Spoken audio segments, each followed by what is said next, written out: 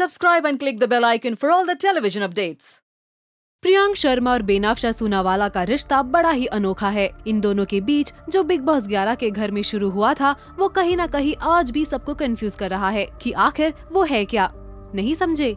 अरे, हम बात कर रहे हैं इन दोनों के डेटिंग की खबर के बारे में। बिग बॉस 11 से ही ऐसी खबरें चल रही थी कि प्रियांक और बेन एक दूसरे को डेट कर रहे हैं, लेकिन ना ही कभी प्रियांक ने और ना ही कभी बेन ने अपने रिश्ते को एक्सेप्ट किया। पर हाल फ़िलहाल में विकास गुप्ता के शो एस ऑफ़ स्पेस में कंटेस्टेंट्स बने वरुण सूद, जो बेन के एक्स बॉयफ्रेंड है, और दिव्या अग्रवाल, जो प्रियांक के एक्स गर्लफ्रेंड है।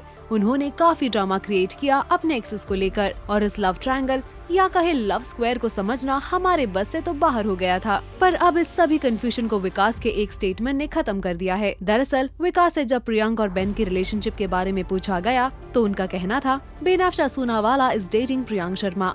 I feel they have accepted it and somewhere they have not. Again they might not be dating. I don't know. Well, cover up करने की अच्छी कोशिश की विकास ने लेकिन इनके स्टेटमेंट से इतना तो साफ़ है कि Priyank and Ben are in relationship आपका क्या कहना है इस कपल के बारे में बताइए हमें अपने कमेंट्स के ज़रिए